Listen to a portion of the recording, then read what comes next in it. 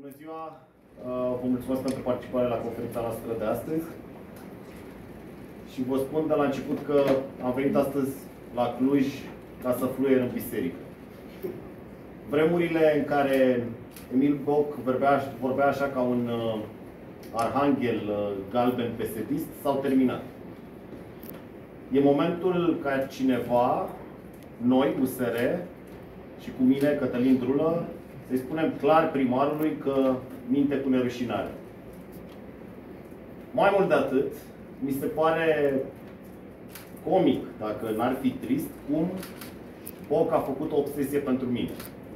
Colegii mei de la comunicare au numărat într-o ședință de Consiliu Local în care mi-a menționat numele de 14 ori. De 14 ori într-o conferință. Asta denotă că lui Emil Bocă e frică de mine și de USR.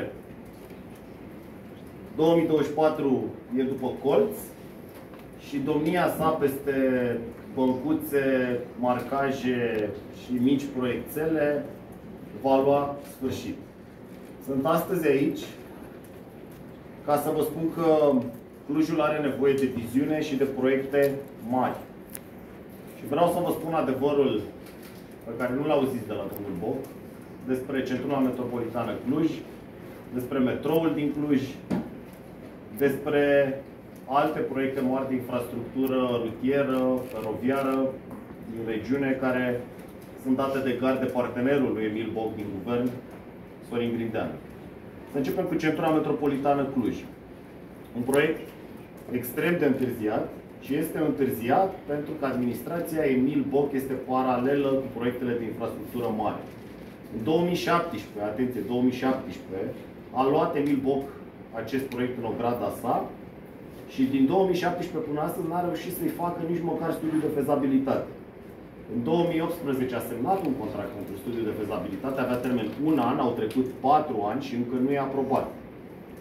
Nu există exproprieri, nu sunt obținute toate avizele, cum ar fi avizul pentru siguranța circulației, nu e lansată licitația de lucrări, prin urmare, iar acordul de mediu a fost obținut abia zilele trecute. Nu există vinovații imaginari pe care îi caută domnul Boc. Există doar Emil Boc, care este incompetent. În 2021, anul trecut, la Ministerul Transporturilor, am susținut acest proiect al Centurii Metropolitane Cluj cu toată forța. Am discutat în mod repetat cu proiectanții centurii, i-am invitat la Minister și la CNAIR să discutăm soluțiile tehnice, iar specialiștii din CNAIR au venit la Cluj ca să accelereze etapele acestui proiect. Cu alte cuvinte, m-am străduit să fac eu munca lui Emil Boc, de care el nu este în stare. Ca să salvez proiectul, inclusiv finanțarea sa, am vorbit la momentul respectiv cu domnul Boc și am convenit că soluția corectă de finanțare pentru această centură sunt fondurile structurale clasice, adică programul operațional transport 2022-2030. Cât de mult poate să minte Emil Boc când atunci mi-a dat dreptate și mi-a spus, domnule ministru, excelență, aveți dreptate, este soluția cea mai bună. Văd zâmbete pentru că recunoașteți că este un discurs autentic. Asta mi-a spus domnul Boc.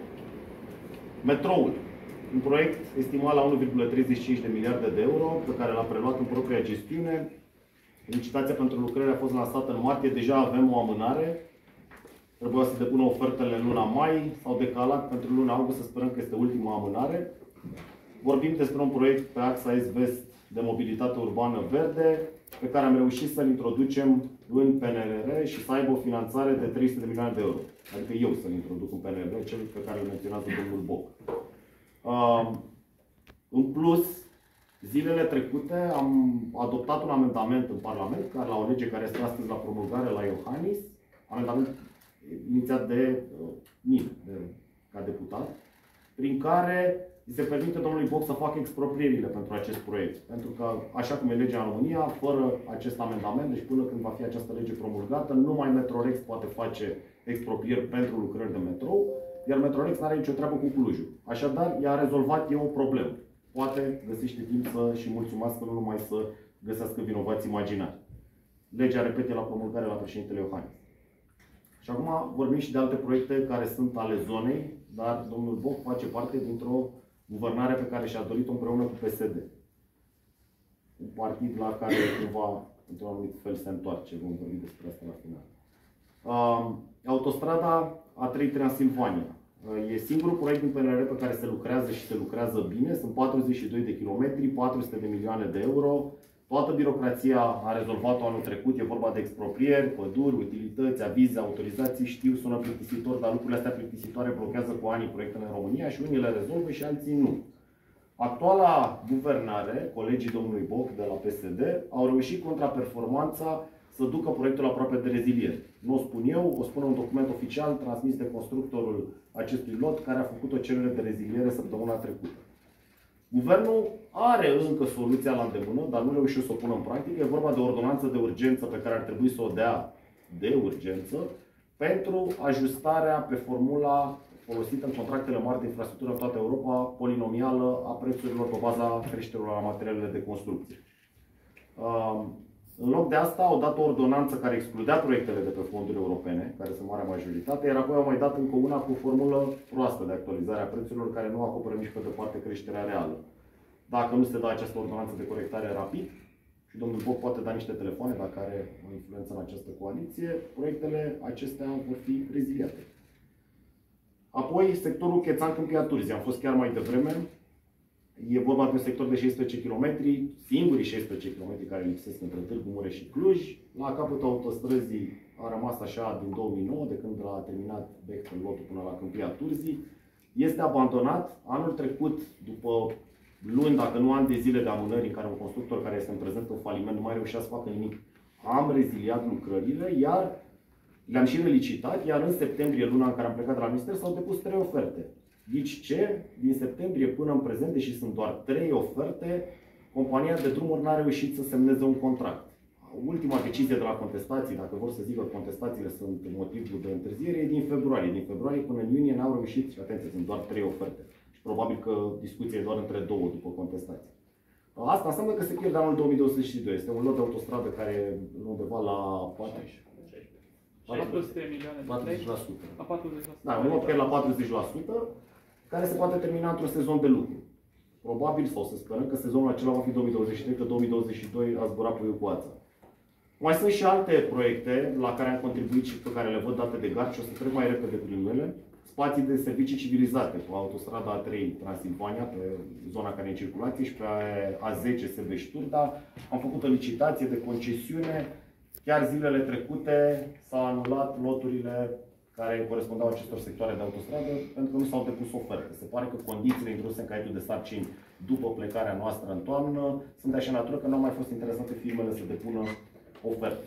Drumul de mare viteză Cluj-Dej. Am scos de la sertar acest proiect anul trecut și uh, am lăsat la licitație etapa de proiectare în iunie anul trecut, în iunie 2021. În octombrie la o lună după ce am plecat de la minister s-au depus patru oferte, după 9 luni nu avem câștigător, nu avem contract semnat, nu există nicio explicație, se pare că l-au băgat înapoi la sertarea acest proiect. Drumul de mare viteză, Baia Mare, Dej, Bistrița, dacă ne ducem un pic mai departe de Cluj. Exact în cazul Cluj-Dej, am lansat licitația de proiectare în septembrie 2021, încă eram în, în mandat, yeah. corect? Da? zile. Și în noiembrie s-au depus patru oferte, de atunci nu s-a mai întâmplat nimic. De fapt, asta se repetă. Nu s-a mai întâmplat nimic, nu s-a mai întâmplat nimic, nu s-a mai întâmplat nimic. Magistrala de cale ferată Cluj-Oradea. Am inclus modernizarea și electrificarea acestei magistrale în PNRR, vorbind de un proiect de 1,1 miliarde de euro. De fapt, cifra asta e foarte mare, un proiect uriaș pentru România. Uh, și va reduce timpul cu o oră între Cluj și Oradea. Licitația de lucrare a fost lansată abia în ianuarie. Ofertele au fost depuse în mai și nu se grăbesc nici acolo cu finalizarea evaluării. Uh, amintesc aici că se bazează contractarea acestui lot pe borna de 50% din domeniul feroviar din PNR contractat, care e în decembrie la finalul acestui an. Mai sunt și alte proiecte feroviare prin PNRR, sunt lucrările de ridicare de restricții de viteză foarte importante. Quick wins astea am făcut anul trecut uh, două bucăți, una între Făurei și Buzău, unde s-a ridicat de la 30 de km la 120 de km pe oră limitat de viteză, cu lucrări făcute în 5 luni de zile și cu sume relativ mici, 12 milioane de euro pentru 40 de kilometri. Uh, aici avem Cluj, uh, Cluj-Napoca, Dej, Baia Mare, Beclean și Cluj-Napoca, Teiuș. Zeci de ani au fost neglijate aceste lucrări, se circulă cu restricții, se merge uh, foarte prost. Am reușit să includem în PNR un miliard de euro pentru acest tip de lucrări. L-aștept pe domnul Boc, îmi zice drulă, drulă, drulă, se spune toate lucrurile astea despre PNRR.